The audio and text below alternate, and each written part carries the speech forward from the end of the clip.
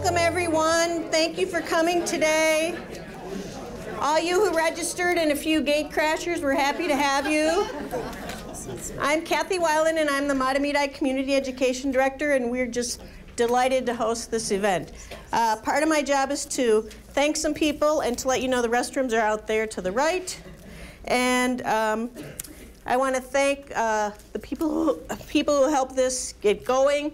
Uh, Tara's here from White Bear Lake Area Schools. We've got a couple of school board members here. Julie's over there. Kevin's over there. Kevin's, Kevin was on our committee. Our superintendent, Barb Duffrin's over there. Um, I want to thank Jim Lane. He's a high school life science teacher. You'll hear from him later.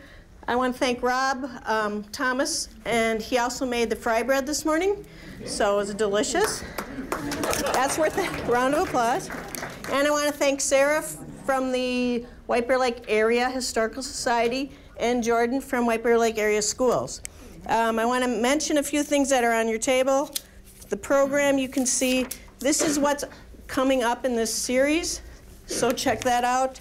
This is shameless propaganda from Mahtomedi Community Ed. We, we got you over here today. We'd love to have you, have you come again. So these, a lot of these activities you can register starting in January. And then there's um, Why Treaties Matter. That's uh, another program that's associated with what we're doing here.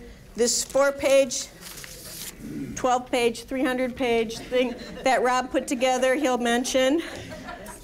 And, and then there's uh, the holiday community conversation feast.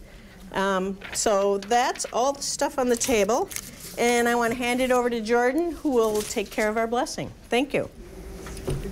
Thank you. Good morning. Good morning. Bonjour, my name is Jordan Zickerman, and I am the Indian Education Program Lead at White Bear Lake Area Schools. And today I would like to start by blessing our space. And we were going to smudge in the beginning. Change of plans. If you would like to be smudged as you leave the space, I will be right outside the doors. So feel free.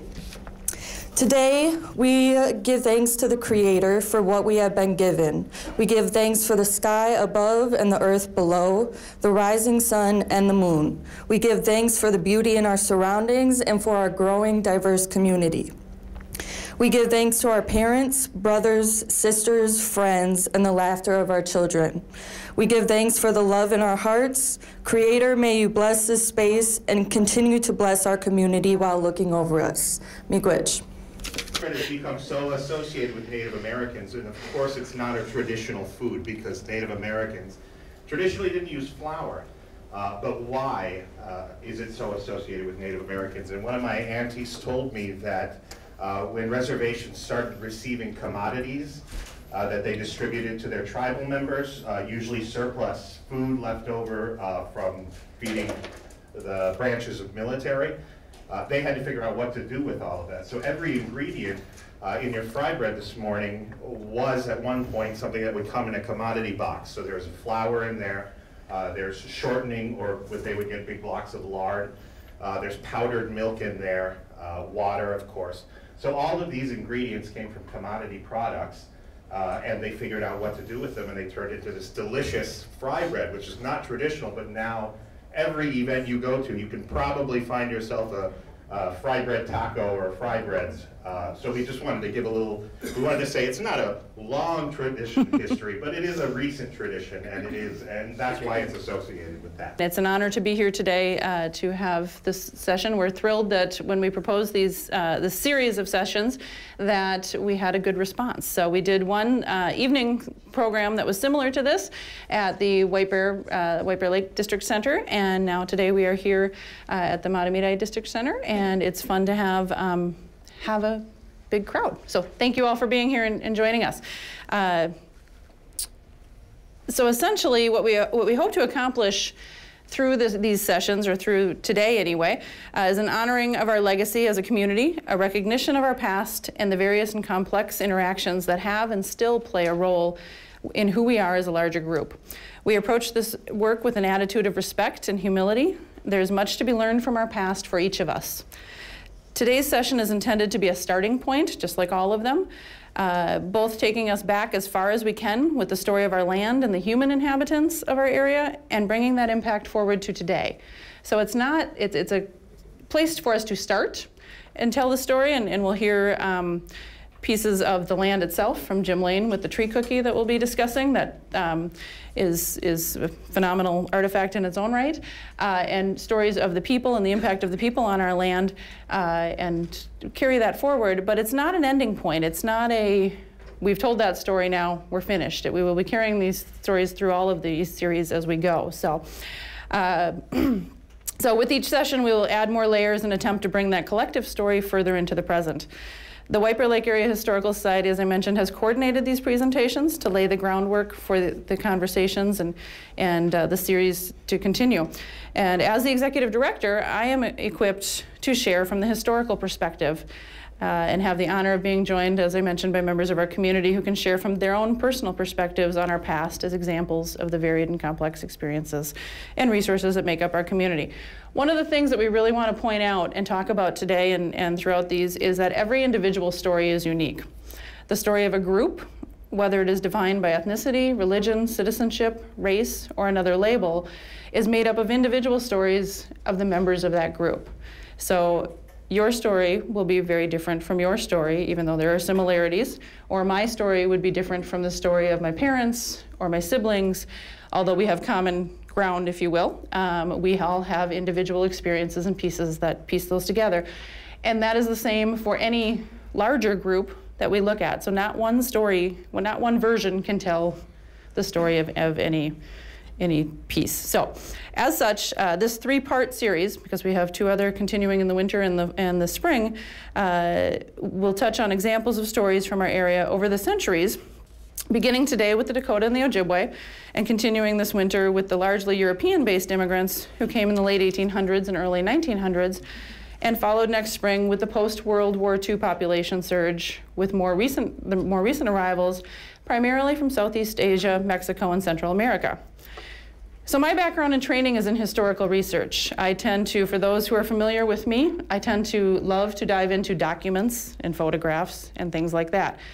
When you start looking at the Dakota and Ojibwe history of Minnesota in particular, there are resources, absolutely, but not that go back far enough as far as I'm concerned, um, from a written standpoint or from a document standpoint. Uh, and so it's difficult to dig deeply in some of those cases. It's interesting because um, one of the things that uh, we get to do today is, with the tree cookie is talk about what the land itself, how it's speaking to us. And so we will jump into that. One of the other clues or one of the other pieces that helps us inform us on the impact that the early peoples of Minnesota um, have had on this community or this area are the place names. And so up here, you're not meant to be able to read the map, so don't panic. Uh, but up here we have uh, a map of the hydrographical basin of the upper Mississippi by Joseph Nicolet. Now this is one of the earliest maps of this area that is Minnesota. You can see Lake Superior up here, um, the Mississippi River, and other areas. Uh, of course, this is pre-Minnesota. This is pre-Minnesota territory even. And uh, throughout this map, it's one that's been studied greatly, but throughout this map, there are place names that are either actual attempts to capture um, indigenous names and uh, to actually um, record those, or there are place names that are translations. For example, we have Bears Lake. This is a, a close-up of, of one of those, of, of part of that map. Um, we have Bears Lake here on the map that is meant to be White Bear Lake. Uh, there are a lot of um, a lot of variations on how that came to be, why that came to be as Bears Lake on the map. Uh, the fact that it is included on the map is, in any way is significant. Uh, of course, we call it White Bear Lake today, and of course we call Mahtomedi, Matamidai, um, which also means Mato, roughly meaning bear, Midai or Midday, meaning lake or water.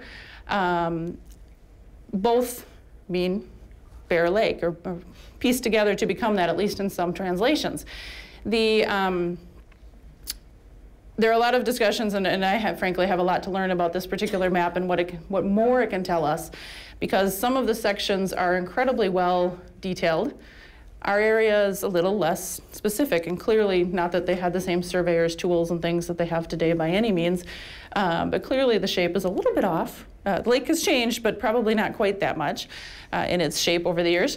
And, um, but the fact that we made it onto the map in the 1840s is fairly significant. This was a known place. This was a known and named place. And so that's, that's an important piece. Throughout this area are many of those um, known and named places. Uh, and of course, um, Minnesota as a whole in general, what we know today as Minnesota, was created through the heaving and the melting of glaciers, the formation of glaciers, uh, creating an assortment of land features, including, of course, our many rivers, our many lakes. We're well known for those lakes, um, but also areas of rocky and sandy soil, areas of fertile soil for farming that were good for farming. Uh, Minnesota itself is a wonderful microcosm of exactly that because you get the, the fields and the plains and the things to the south and the rocky, sandy, um, challenging terrain in many ways to the north. Uh, and it's exactly those landscapes that attracted people through the centuries. It's still those landscapes that attract people. We are working to create a um, bike path around White Bear Lake. It's something that draws people. One of the goals of that is to bring people to the community and, and make it a place where people want to live because they want to be out by that lake and by that water. Uh, we have many sailors and fishing people and, and all sorts of other folks who come. Uh, and it was exactly that same way centuries ago not necessarily from a recreational standpoint, but those features provided um, provided amenities, provided food, provided resources. Uh, as we go throughout this three-part series, um, this is a theme that you will hear about again and again. Uh, with a thorough understanding of the land, the indigenous people made a seasonal migration through this region, uh, spending much of the winter season hunting and living in the more wooded areas, and trapping and maple sugaring in the spring season. Villages were established in the warmer season and were often at known places and reused year after year. So it wasn't just a random migration, it was a, certainly a pattern.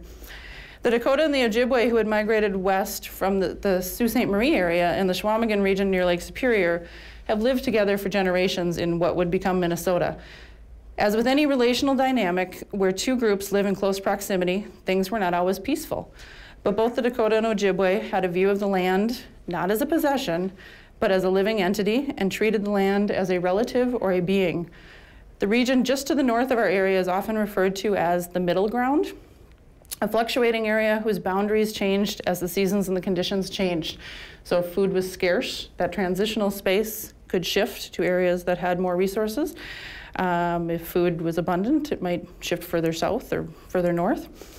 Uh, things became much more complex when European contact, contact brought a view of the boundaries and the land ownership, which were applied to this area and restricted people to remain within certain geographic locations. In other words, instead of having the freedom to sort of sort it out and make things flow, uh, different types of rules were applied and, and things got complicated quickly. The introduction of alliances between indigenous people and fur trade companies or indigenous people and military units occurred, which often created imbalances and ever-changing relationships. The dynamics changed and the friction between various groups increased, creating complex relationships. And that's complex is one of the key words throughout all of these discussions uh, because things are never simple, just like within our own families, our own communities, neighborhoods, and that sort of thing. Uh, one physical link to the past that I have been uh, very aware of throughout my tenure at the Historical Society are the burial mounds at White Bear Lake. Uh, there were several burial mounds along Lake Avenue um, for many, many years, and today there's only one that remains. But the largest mound, most were, most were destroyed due to lack of understanding or lack of knowledge. Um, one was very specifically, consciously taken out, uh, the largest mound that sat here. This mound was incredibly significant. It stood 84 feet um, long, or 80 to 84 feet long, and about 12 to 15 feet wide, uh, and, and was a very important site. It is often believed that mounds were generally, mound sites were generally built near village sites. And we do not know specifically of a village site around the White Bear area, and, and I'm not certain how close they were necessarily had to be. Um, but it intrigues me that we have a, a, concentration of mounds along the shore of the west shore of the lake and a, not a known village site at this point um, in the near vicinity. So uh, it's one of those, again, pieces that we need to continue to try to understand. Um, the mounds, of course, were man-made. They're man-made physical link to our past. Uh, but there were many ways that the land itself, as I've said, can talk to us and share its story and that, of course, of the humans who have inhabited it through the years. Uh, please don't eat the tree cookies. I know there's one group. I, I do need to use these again, and the teeth marks make it harder to use. Um, yeah, as Sarah said, I use uh, the tree cookie, and the tree cookie she's referring to is this one right here, which I implore all of you to come and at least come and touch and see and feel it. Uh, it's, it's very touch friendly, so please come and look at it. Um, with regards to history, this, when you touch this tree, you are touching carbon that was sequestered from the atmosphere uh, 250 years ago. Um, so when you touch this, you're touching a piece of the environment, quite literally, um, locked away in the, the wood of this tree. Um, so with that, let's go over here. Sorry, I'm a walker, so I'm not going to stay in one spot. You're going to have to keep up with me. Um, so you might be asking why a science teacher is here talking about the history of the land. Well, uh, when I started teaching here at Mahtomedi High School uh, about seven years ago, uh, I, I, was given the task of teaching environmental science. And environmental science is traditionally, you talk about what people do. So you talk about power plants and energy and stuff like that. You're more or less told to tell the kids what they need to think. Uh, that's not how I roll. Uh, when I teach, I want to get my kids outside. I want to, if I'm going to teach them environmental science, I want them to be in the environment that they are learning about. Um, so the number one thing that I did is I started something uh, called my tree project, um, where around the high school we have, uh, we are very grateful to have uh, a couple of large woodlots with very large trees. And these kids, they grow up, and most of them grow up in Mahtomedi, and they walk by these trees every single day. And all they ever see is trees. They don't see the forest. And the goal of this project is to get them to change their paradigm from just a bunch of trees to be able to see it as a dynamic, historical uh, context of this living, breathing environment. Uh, so what I challenge them to do is to get outside in the dead of winter and identify trees, which how would most of us identify trees? With the leaves. So I say, we took all the leaves off, now you have to tell me the difference between a bur oak and a white oak. Or, well, I don't tell them that, they figure that out. Um, so here they are, quite, this was a couple years ago, they're, this is buckthorn, so that's, that's the one that they all learn very, very quickly. And then there they are engaging with the, the tree cookie there. Uh, this brings into the, the story of the grandmother oak here. It's a bur oak. Bur oak are the slowest growing of all of the oaks. So white oaks are fairly slow growing. Red oaks grow relatively quickly. But bur oaks are, they're the ancient ones. Uh, this particular oak was uh, approximately 260 years by my count. Um, it was located right on Moorhead Ave in Lake Ave in White Bear Lake, and the branch that you see here pointed right towards Manitou Island. So this is a very significant tree. Uh, it has a quite a bit of history going back 260 years. That predates our nation, that predates our state, that predates any European people in this area. So that tree, if you think about it, a wayward squirrel that was burying an acorn for winter some 300-ish years ago, buried an acorn, forgot about it, and it turned into this tree. And that's, that's a story in and of itself. Um, the reason bur oaks are so slow growing is they are very um, drought resistant, so they, they, they put their time in growing slowly so that they can re, uh, resist drought. Uh, fires, they're very fire resistant as well. They're also found in prairie savanna areas. So that tells you something about if there's a bur oak there, that probably wasn't a forest. It was more of an open area with grasses and probably an oak savanna typed ecosystem. All right, now it is your turn. I would like you guys to take a look. Uh, this is the number one question that I ask for my students, and you would be surprised. So if you know the answer, don't shout it out. Um, which ring is the oldest? This is how I start my tree project because you have to get first things first. And there's a, we have this ring here and we have this ring here. So which one is the oldest? The other thing I'd like you to do is everybody take your tree cookie at your table and everyone take a look. See if you can figure out, looking at the information on your tree cookie, which one is the oldest ring and which one is the newest ring. And if you think you know the answer, don't just shout it out. See if you can get other people's perspectives.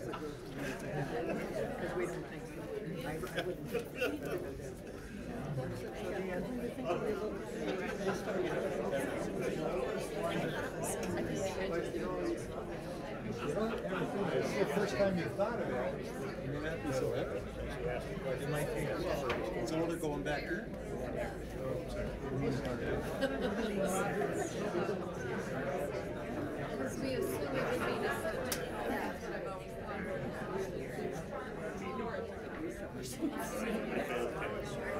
Oh, did you guys not get a cookie?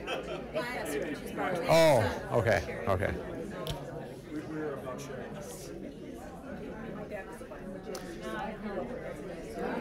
Take another 10 seconds for your conversation.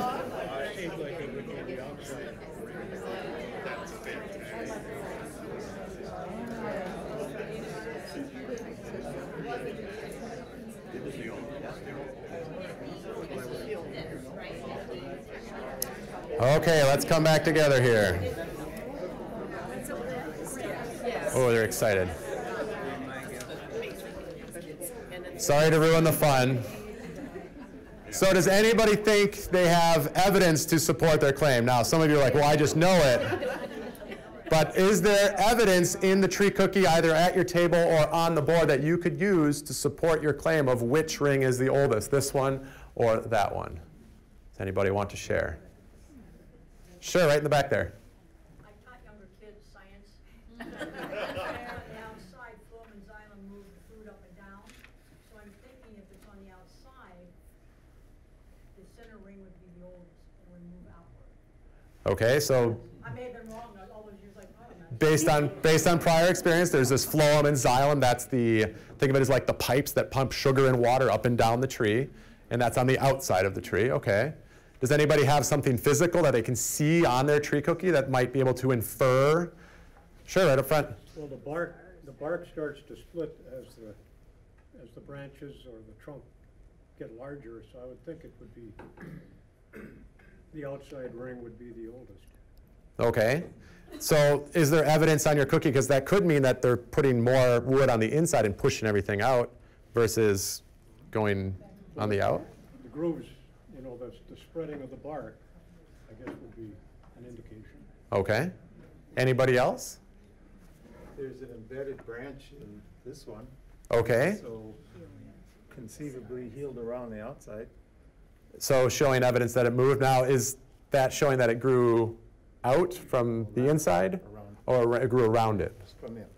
Okay. You guys just so desperately want me to tell you the answer now. yeah, over here. There, there's evidence of physical damage at one point that would come from the outside of the tree, and now it's in the middle, so. Okay.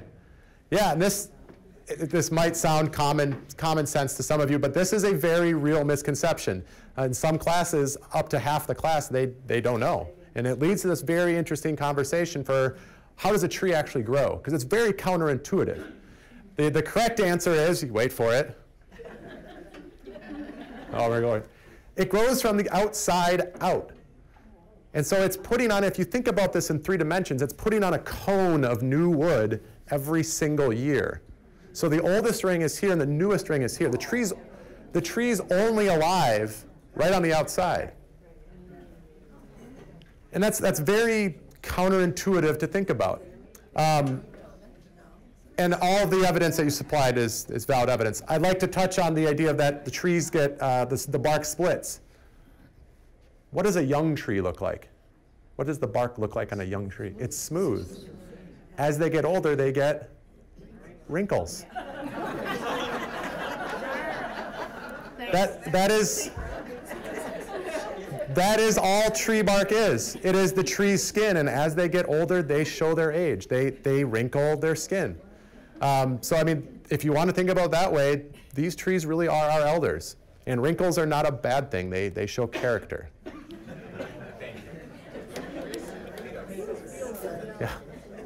Good save, good save, okay.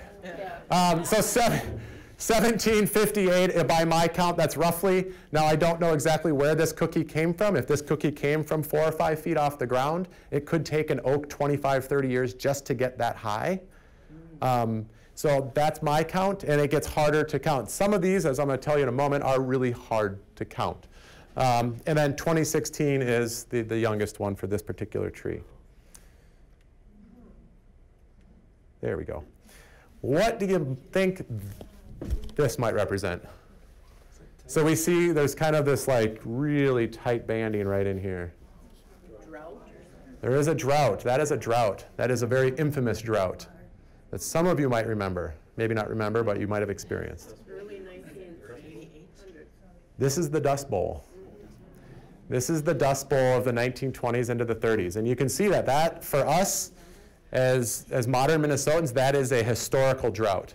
Now, looking at this tree cookie, is there any other droughts that you can see?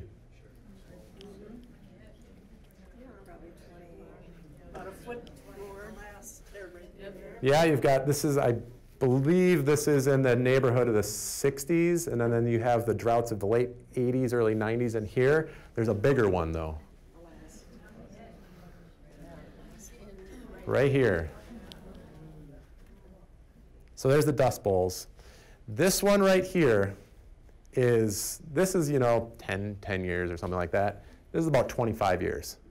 And they are right next to each other. I am talking, you have to get a magnifying glass to see the, the rings. What happened there? Does anybody know? I didn't tell you a year. this is one, this is pre-European settlement in Minnesota and it's a pretty significant date.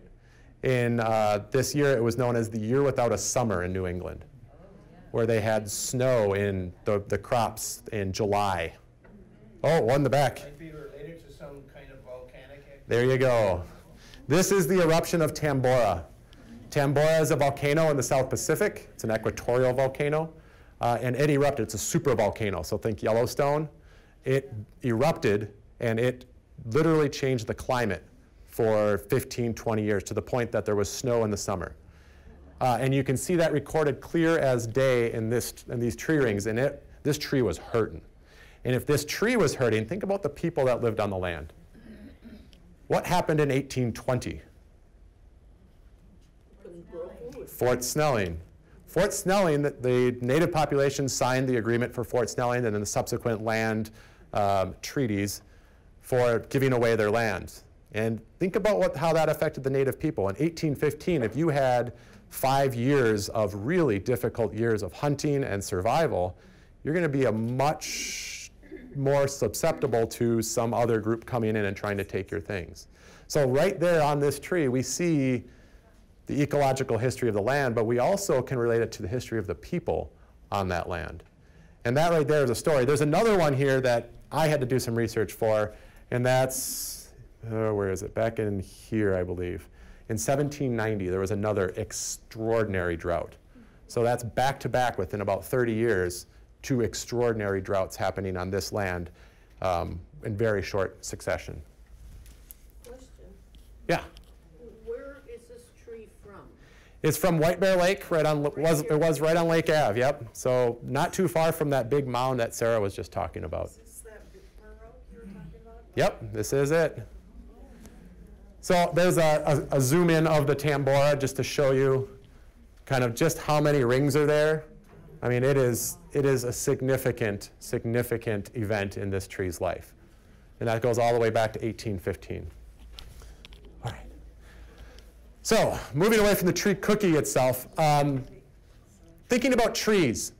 If we see trees only as a commodity, as only as a, a product for wood or for things like that, we're, we're missing the point in my mind, especially as an environmental science instructor.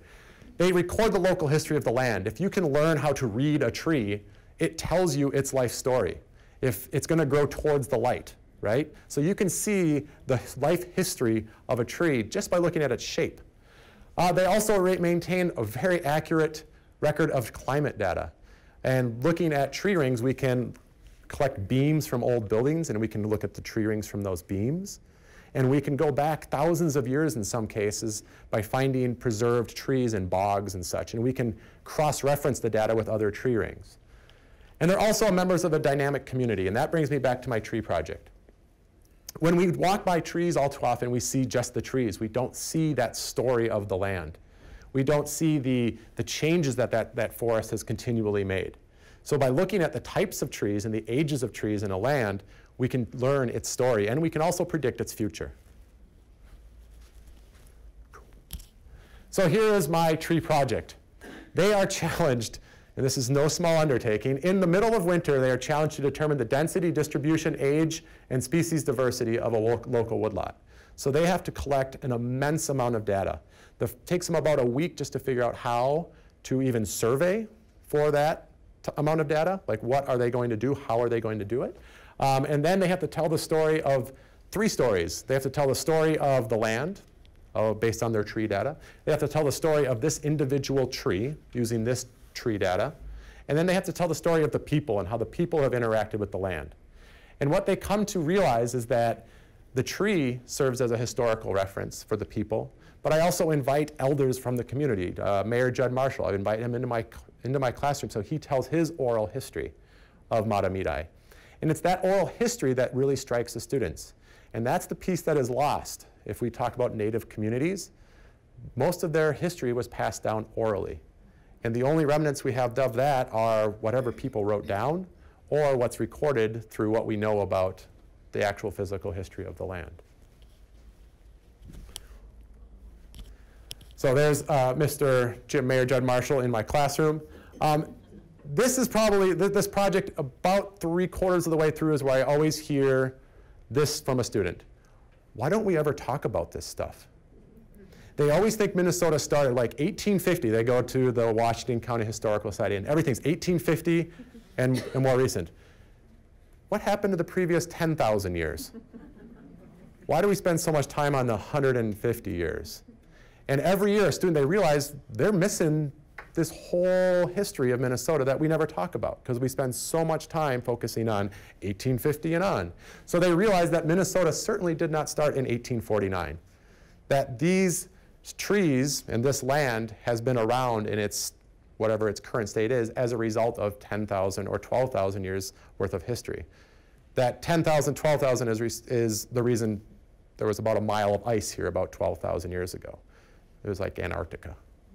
Um, and then looking at those trees to predict something about the future.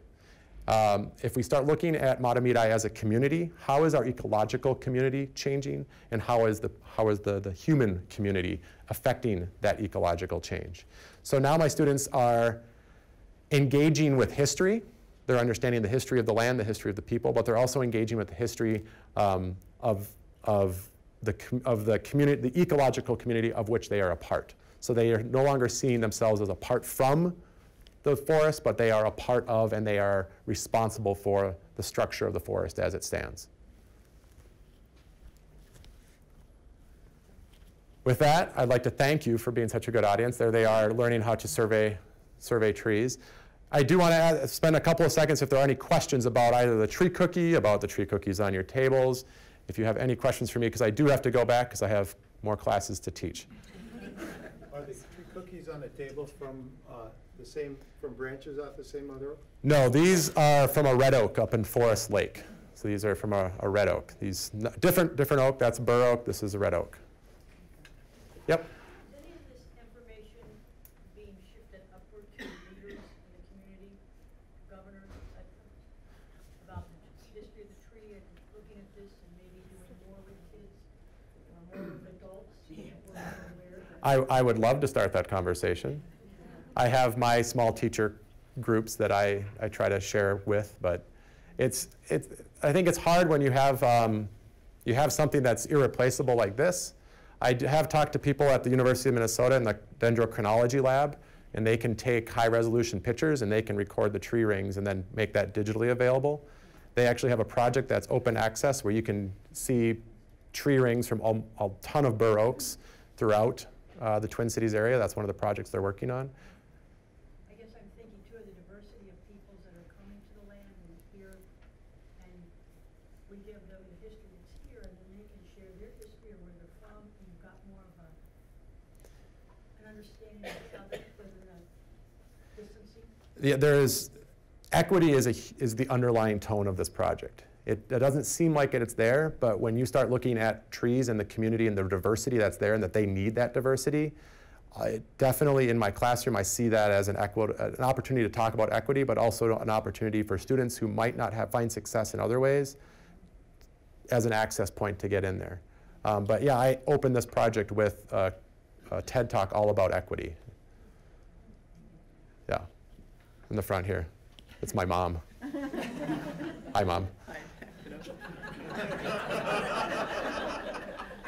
Um, you pointed uh, as the last tree ring on your diagram as being out here.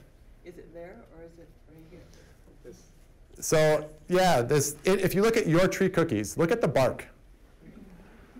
The bark actually has growth rings as well, and that bark is kind of the reflection of the tree cookie rings.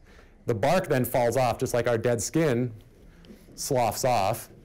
Um, the bark has tree rings as well. So the outermost ring on the wood is the oldest tree ring. The rest is just in the bark.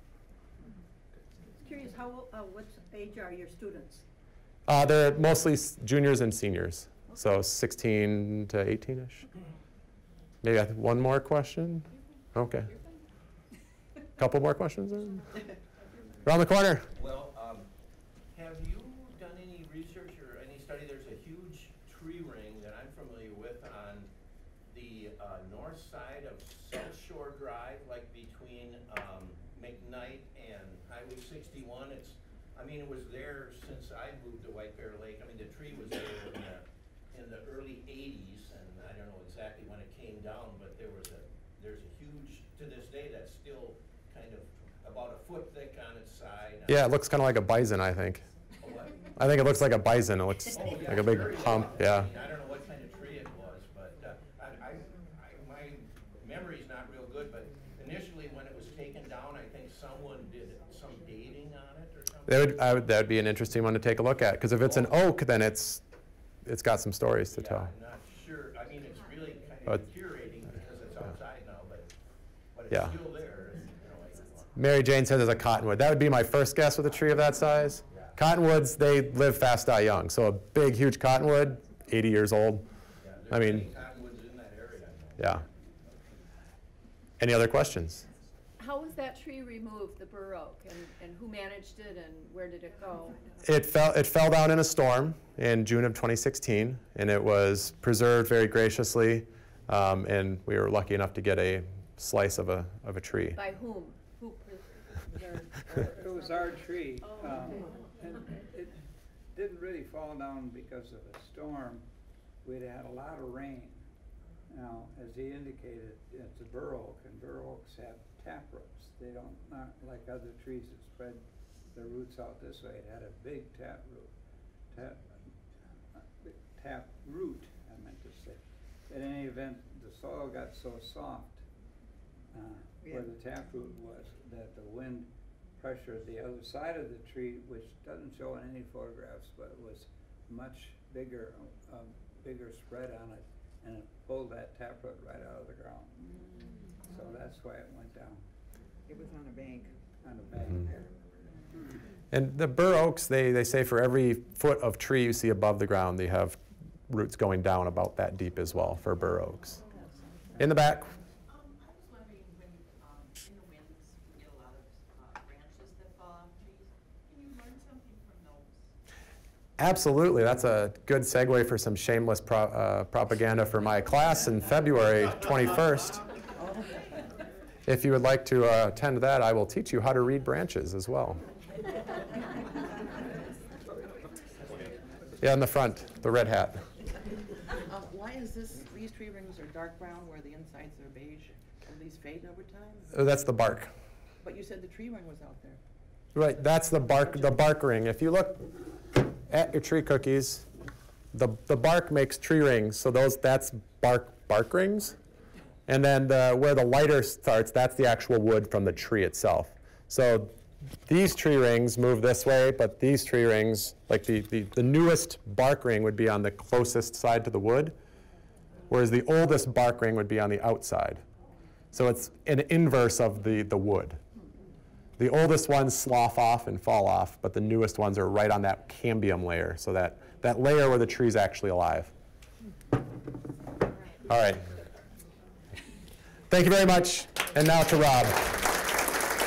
everyone. Uh, my uh, legal name is Rob Thomas. I'm the executive director over at Lakeshore Players Theater uh, in White Bear Lake. Uh, but my spiritual name, given to me by my kunchi, Margaret Kido, is uh, Wokiksuye Yuhamani. And that means in Dakota, walks with memories. And she gave me this name after I began uh, conducting extensive research into my family's history. So my journey uh, to find out, I thank you for allowing me to come today and share my family's story, uh, but my journey to find out more about my family started actually when I left Minnesota. After college, uh, I moved down to Florida. I left Minnesota, what our, my ancestors used to call uh, Minnesota Makoche, which means the land where the water reflects the sky uh, or the clouds. Uh, after college, I went down to an internship, and I was struck by how quickly I started to feel that disconnect between uh, myself and my family and the land that my family had been on for hundreds and hundreds of years.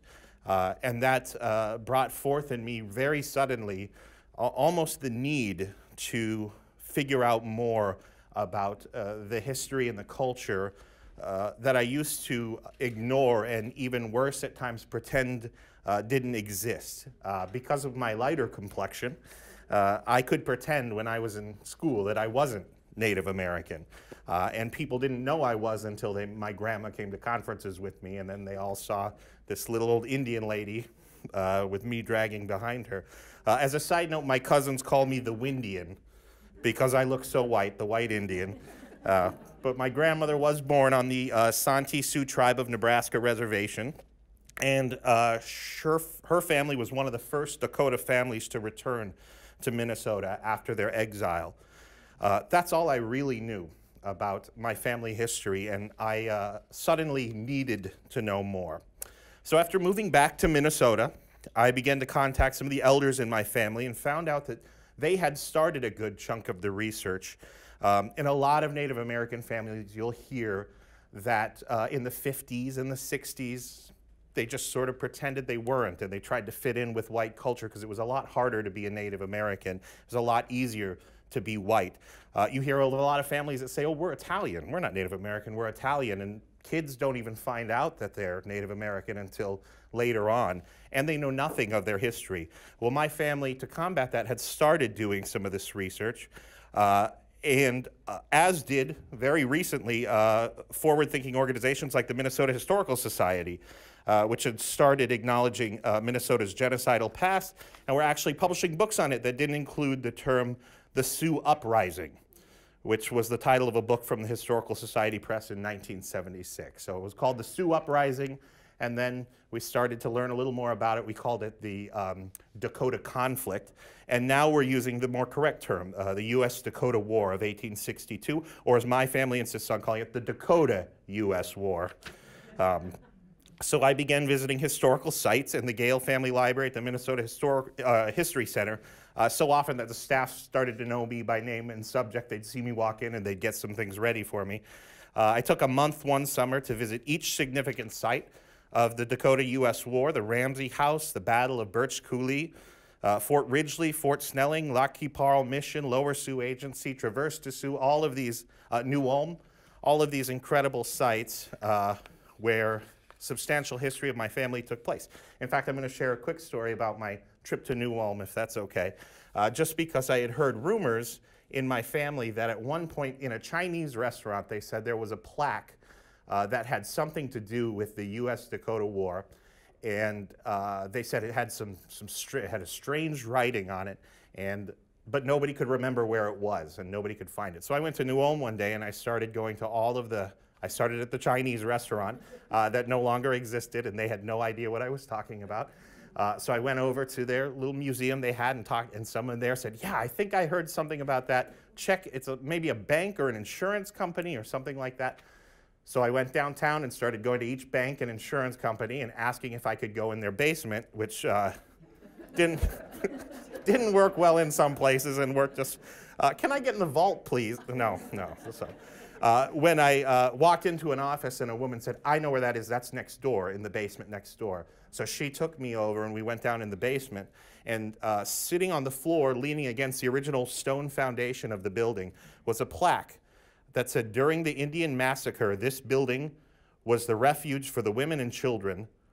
Powder with fuse was stored in the basement, and it was intended to blow up the building should the Sioux gain possession of the town.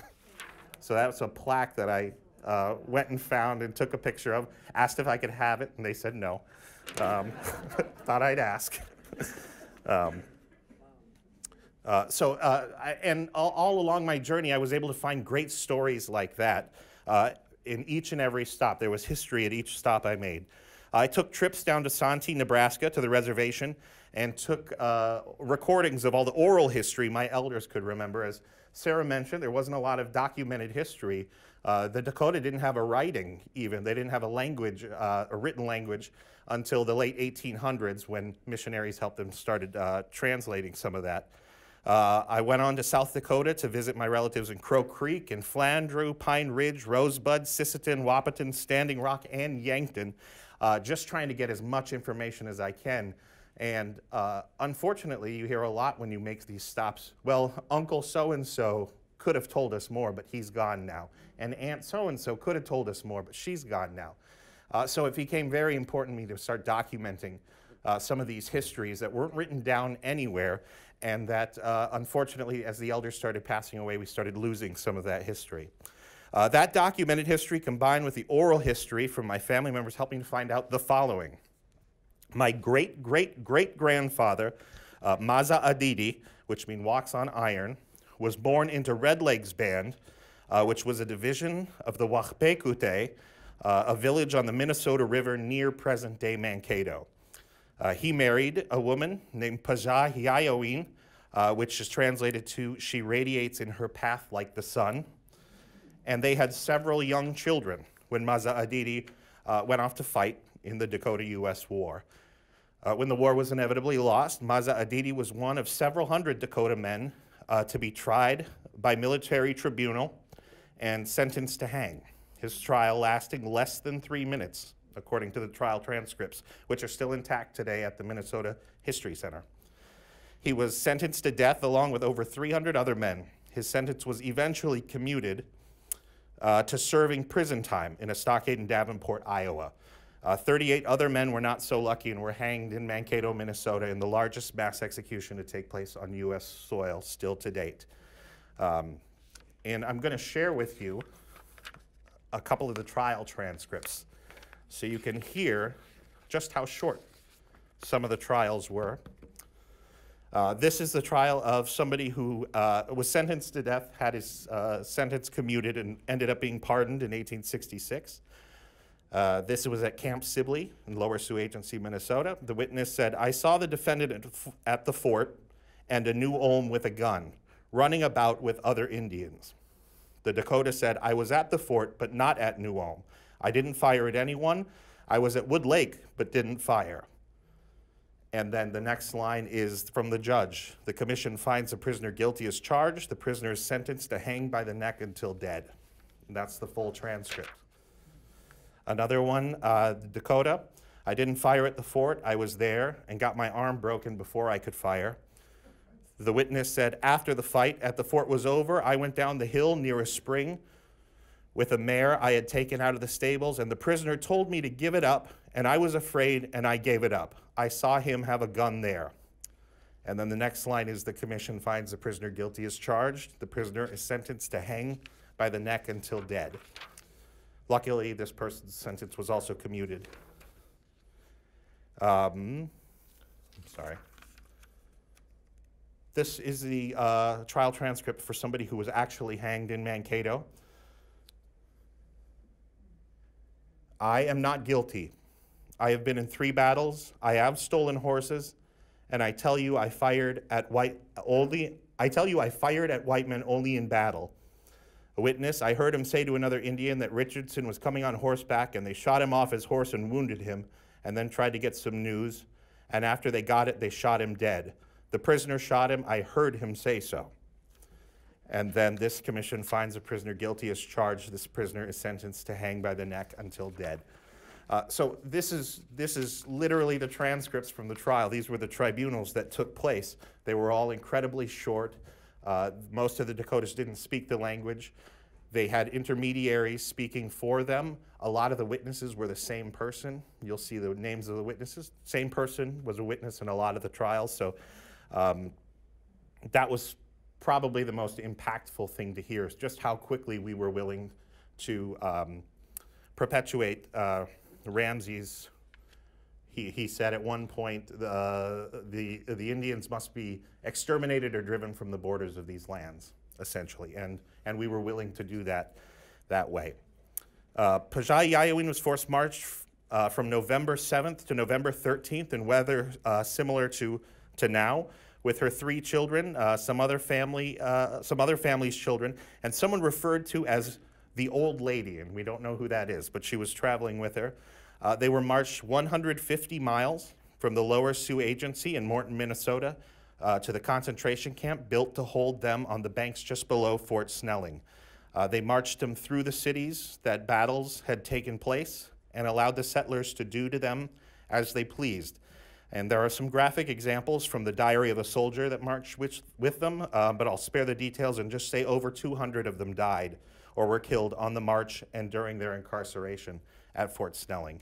Uh, amazingly, uh, my family survived, and despite uh, Mazadidi serving his sentence in Davenport, Iowa, he was sentenced to hang, but he had his sentence uh, uh, commuted and uh, Pajai Yayawin's transfer by riverboat to a reservation in North Dakota. They managed to find each other and finally settled in a newly created reservation on, in Santee, Nebraska. And that's where my grandmother was born.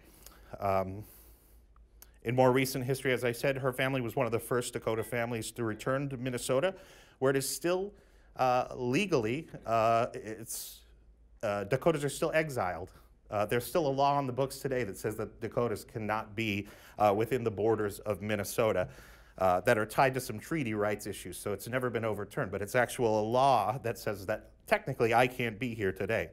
Uh, her brother was one of the first, he was either the sixth or the eighth, I'm sorry, I can't remember, Native Americans to graduate from the University of Minnesota. Um, and why is this important and why do I like to share this story? Uh, all of it comes down to acknowledgement uh, when I go and I talk to people about my family history, uh, and when other people talk about their family history, they're not looking for pity and they're not looking for you to take responsibility or anyone to take responsibility or my other side of the family to take responsibility for the atrocities committed and the genocide committed. All they're looking for, uh, in most cases, is a level of acknowledgement because only after we acknowledge our genocidal past can the people who are affected by it heal. And when I say the people affected by it, I don't just mean people from the indigenous community. Everybody in Minnesota is affected by that. The Dakota had a deep connection with the land, and after they were exiled, uh, we lost a lot of that connection. We started to see the land as a um, commodity, as a resource, as opposed to a living thing that we live in harmony with. Um, and that's why it's important for me to share this story. Um, I'm happy now to answer any questions. I will say I don't consider myself a Native American historian. I've done a lot of history on my family and thus have, have uh, gotten a lot of information about the Dakota and Minnesota. But if anyone has any questions, I'll certainly try to answer it for you.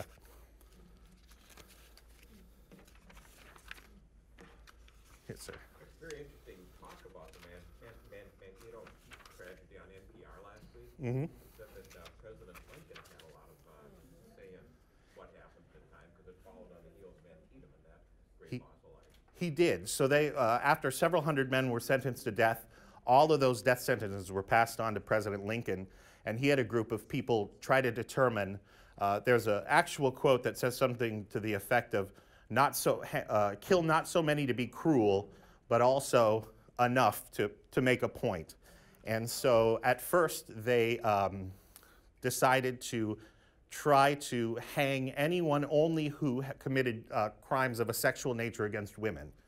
And they only found two instances of that in all of the, And they said that's, that's not near enough. So instead, he commuted the sentence of everyone except for the people who had participated in battles that were not sanctioned.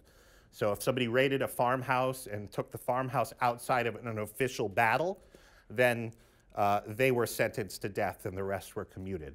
And yeah, that was, that was Abraham Lincoln. So while he was, while he was working on freeing the slaves, he was also um, some, some people think of him as a savior to save that many lives, and some people say, well, he could have done a lot more, but everybody makes that decision for themselves. Any other questions? Yes, Do you know anything about the settlements in this area? Not much. No, not much in this area. Sorry. I hope you write this and publish it, and then I find out where where it's being printed. I'd oh, thank you. Um, I actually wrote a play for the History Theater in St. Paul for their uh, Raw Stages series about this very thing. It was centered on those trial transcripts that had such an impact to me. Uh, so it was produced there twice. Was your grandfather, so your grandfather was Native American. Was your grandfather also Native American, or was that where the family uh, emerged? No, uh, my grand, yeah, my grandmother uh, married a, a, a European, a German man. So her her family above that was, was Native American. Uh, in fact, her grandfather, who was the son of Maza Adidi, who I was talking about, um, uh, as a protest, never spoke English again after, uh, after the conflict was over and after the exile. So he lived in the house with them. Uh, he was in a wheelchair a good portion of that time, and he just he never spoke English again. So all all the business was conducted by somebody else, and he knew English, but he wouldn't speak it. So the back. What community did your family settle in when they returned to Minnesota? You said they were one of the first to return. Uh, they, they were in um, northeast Minneapolis. And then, well, they, they moved around a little bit. They were in northeast Minneapolis. They were on uh, Franklin Avenue, uh, where the 35W is now. They're, the building they lived in was torn down to build 35W.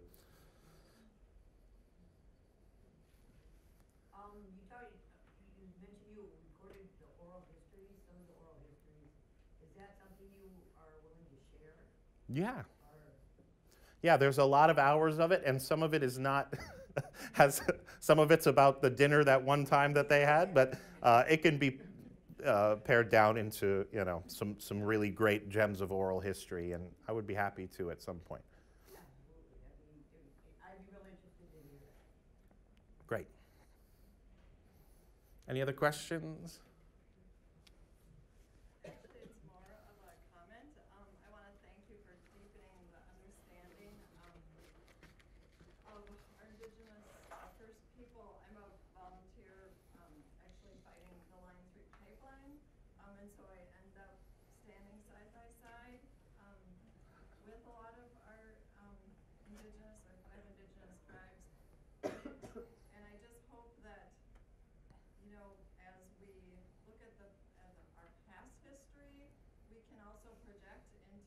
day.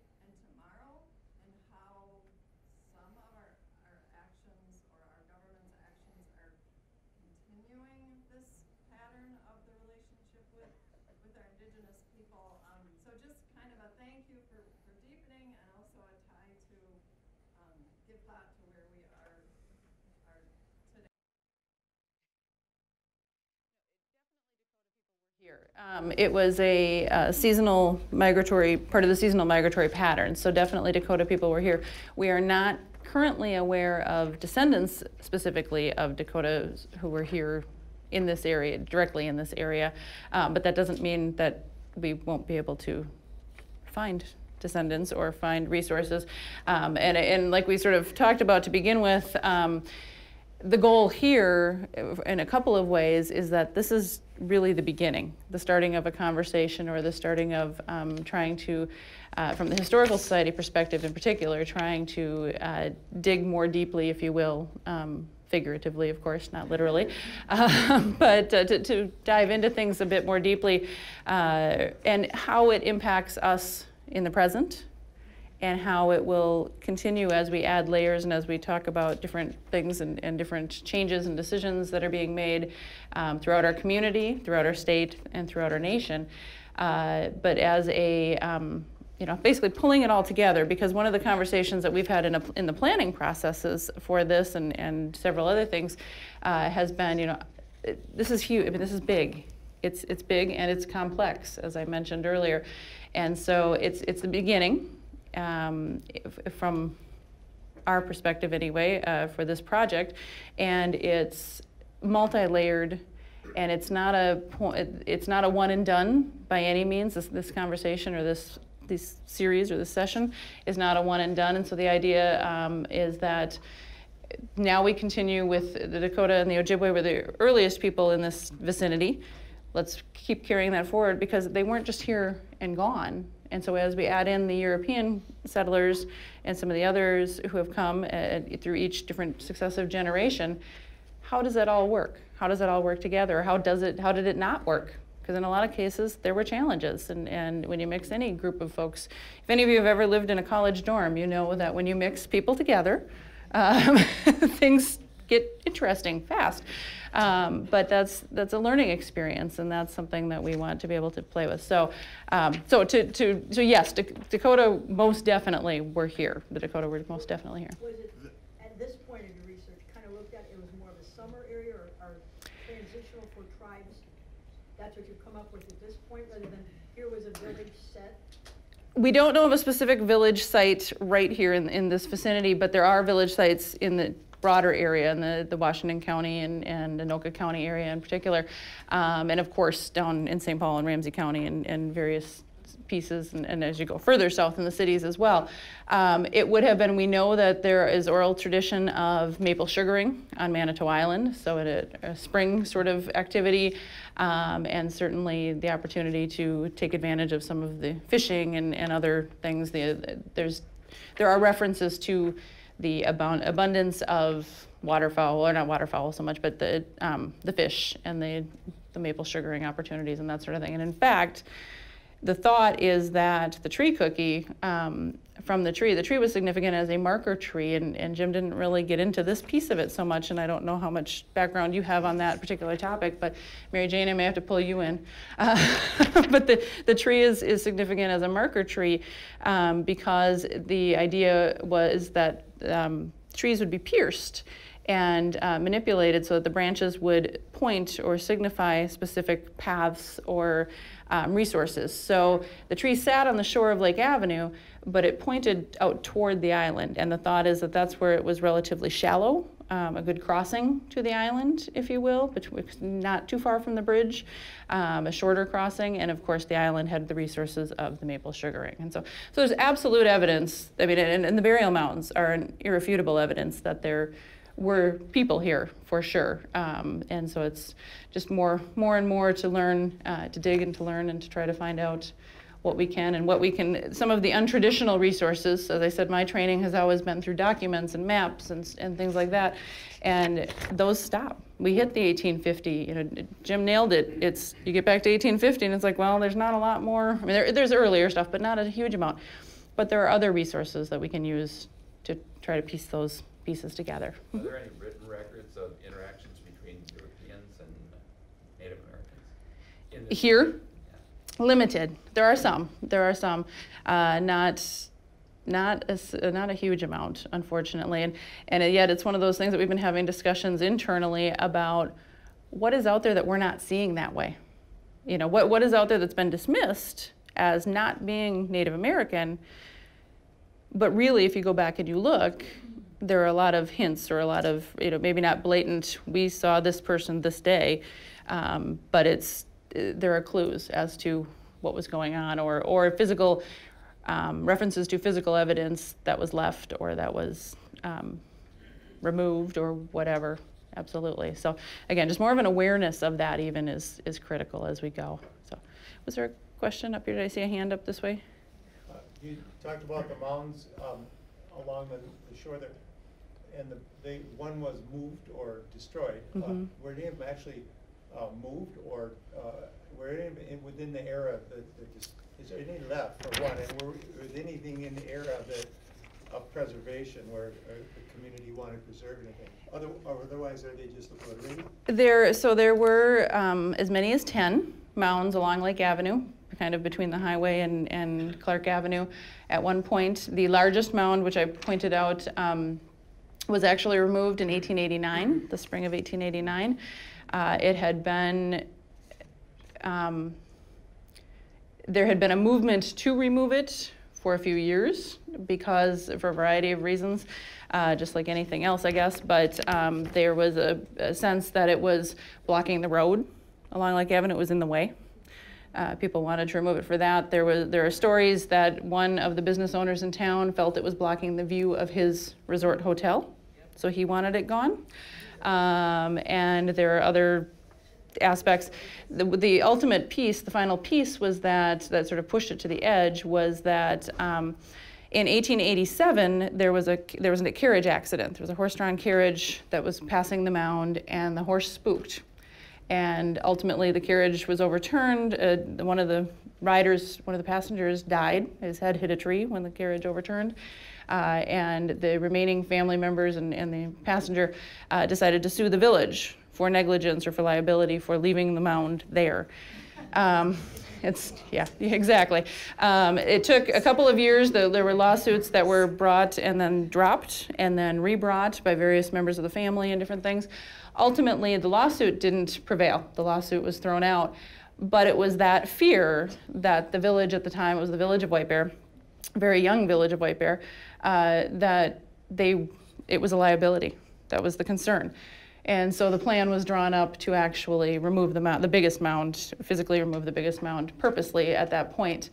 Um, there were supposed to be a number of precautions taken, a number of protections um, where items from the mound were not to be removed, they were, they were to be gathered and protected. And uh, unfortunately, um, the mound was essentially looted, and so a lot of items were lost. But there were two boxes of grave goods, or items that were buried within the mound, within with the human remains that were taken and transferred to the Minnesota Historical Society. Uh, and those are still at the state archaeologist's office at the Minnesota Historical Society. Uh, in addition to that, the majority of 19 skeletons, human remains, were um, also gathered together and put on a boxcar, put on a train, and sent down to St. Paul to the Minnesota Historical Society. And effectively, the Historical Society said, we don't take human remains. We, we will take the, the goods, but we were the box, but we won't take human remains.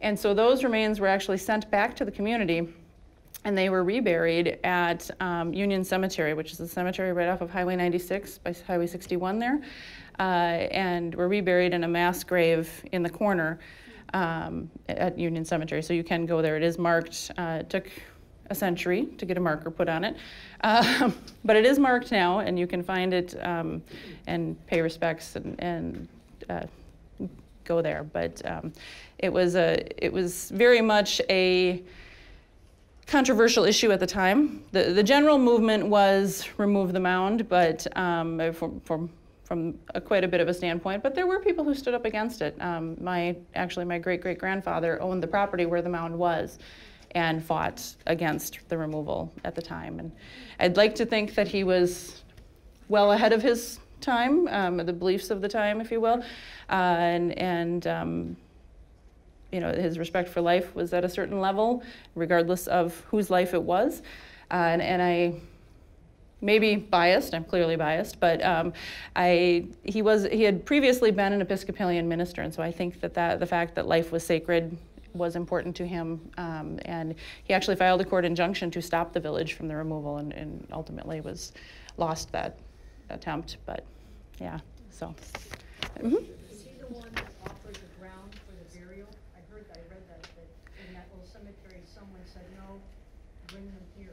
Some person um, well, the cemetery would have been owned by William Weber, a farmer named William Weber, and, and I think he did, um, William Weber, I think, did step up and say, do, let's do this. It was a logical option. It was, and it was near the mound sites. It wasn't far. It was just across the highway, across the railroad tracks. Uh, the family story is that um, two of the, the remains, two sets of remains, were actually reburied on the property, the family property, um, because my great great grandfather supposedly and allegedly insisted that that happen. Uh, unfortunately, there's no way to verify that other than attempting to unearth those remains again and see what rem- what remains. So um, it's, it's an interesting piece. What is the approximate age of the mounds around White Bear Lake? I've heard a lot of estimates, and without really being able to, I mean, they're, they're basically guesses without really being able to study. But the, the closest date or the most common date I hear applied is about 1750. Um, Then that brings a question. Uh, Father Hennepin Mhm. already was in this area, you know, as of fifteen, whatever, as you would call it, Dakota. Weren't they pretty much brought into the Christian religion? And aren't those mounds, by speculation of what I've read, those mounds have to be older than just the Dakota when they came to Minnesota. The mounds have to predate the Sioux arrival in Minnesota by at least over a hundred years because of when Christianity came to Minnesota, the mounds no longer were built. Mm-hmm. As far as my history has yeah. Gone, the mounds pretty much discontinued when Christianity entered the state of Minnesota by either Hennepin or further back. Yeah, I, I- and you can certainly speak to that. Um, as I would say that the stories are not always hard and fast. Yeah, actually, in my research, I found the documents of my uh, uh, Pajahi Iowines. Her conversion and baptism happened at Fort Snelling when she was detained. Uh, so she was given a Christian name then. Uh, but before that, they didn't practice the Christian. re- They, at least that group, didn't Mhm. practice the Christian religion. Uh, so it was it was after her internment, and then she maintained that Christianity, brought it to her family when they came back together again, and then uh, raised their their kids Christian. Understandable, but we're talking about the age of the mounds. Well, and I, and I don't think, I mean, I, I, I, I absolutely hear what you're saying. I think, um, I think that Father Hennepin was here at a certain point in time, and, and other many others, um, certainly missionaries and others. Uh, I don't believe personally, and I, I think there are a number of schools of thought on this. So this is my personal feeling uh, that everyone conformed to those changes uh, by any means. Um, and I think that, as you talked about your ancestor who refused to speak English, um, people had various ways. And, and mound building is a little more complicated than taking a personal stance on something, but Well, yeah. being the Sioux, according to history, came into Minnesota roughly in the mid sixteen hundreds, along with the Chippewa from the east coast. Many of those mounds were already there. Minnesota had over twelve thousand mounds in its borders at that point in time. I, as an historian, grew up in the area of New Ulm. I have seen the sign you saw. My ancestors were in the battles Mhm. Dakota War, through New Fort Ridgely, in that area. The land I still own is one of the tracks where the Indians were marched through to come to Fort Ridgely. Uh, I have studied this with my Sure. grandparents who are both gone for well over fifty years. Sure. I have, uh, I'm quite knowledgeable, I've put on seminars already on just the Dakota War. So my understanding of the mounds in the area are well before the Sioux and Chippewa entered the state of Minnesota.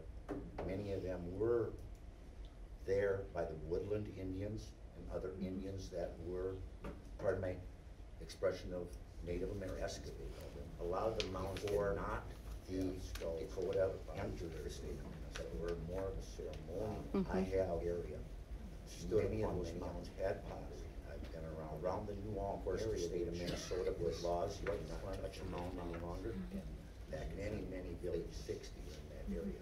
So I, uh, most personally have pottery, helped people more ceremony at that Mhm. point before that's found in those areas. Absolutely. And grave goods and things, I mean, that was very much part of the tradition. Because of the Mhm. Christianity coming into Minnesota, most of the Native Americans on the plains were built or they were buried in what they call a stone monument. Maybe you're familiar with that, above ground. Later on, they were, they were uh, buried similar to the regular burials, and those mounds or, or burial places are around uh, Morton, uh, down there, you know where the Lower Indian Reservation is. Lower Sioux. Yeah, Lower Sioux. And, uh, pretty much in that way, they were still buried the normal, way the white man was buried. That's all I have to say. I Yeah. was just curious if anything was done with the mounds in the White Bear area, their age. Specifically, not necessarily, uh, not, at- not at this point. I know there have been conversations with the um, State Archaeologist's Office about some of the LiDAR technology and other scanning technologies and things that can help date certain, without being as intrusive, obviously, as an, as an excavation would be or that type of thing. Um, And essentially, th- there are different schools of thought because there are, the jury is out, if you will, um, on a lot of that and, and the dating of certain areas and, and depending on the patterns and the, the living pieces. So, um, all right, I think we're winding down uh, and, and getting close to the end of our time together today. Thank you, Rob, for sharing your story. I'm going to give you a shameless, yeah. A shameless plug, Rob is willing to share more of his story, an expanded version of what you heard today through a presentation uh, being held at Lakeshore Players. It's on your sheet here on February 25th um, called Touching the Earth of Our Ancestors. And so you can dig in uh, even more in depth. Uh, and as, I, as I've said several times this morning, um, the goal is that this is a starting point and a, a something that we hope to continue as conversations as a community and, and continue to learn, continue to piece together new information. Uh, and so, in that regard, we actually have Deb Barnes uh, up front here. Uh, if Deb wants to wave, she's sort of recording the sessions, if you will, um, and, and kind of encapsulating what we're the conversations we are having and the presentations we are having uh, as we go, and, and trying to keep a record of that. Uh, and she is doing so on behalf of the Greater uh, White Bear Lake Community Foundation, um, who is Executive Director Jackie Reese is here with us today. Uh, thank you, Jackie. Jackie's also been part of the steering committee and, and helping pull these pieces together and these presentations together. So. Um, I don't think we have anything other um, at this point other than the fact that, as Jordan mentioned earlier, she is willing to do uh, saging or smudging as we um, exit tonight. Um, So if you parked in the back, uh, there, you can go around and out the back door. That door was probably locked when you came in, but you can get out that way. So if you parked in the back, feel free to go through the building instead of this. So if you couldn't hear Meg, if you did have to park in the back, uh, if you're in the back lot here, you can get out that way through the doors. So, but all right, thank you all for coming out this morning. We appreciate your wonderful attention.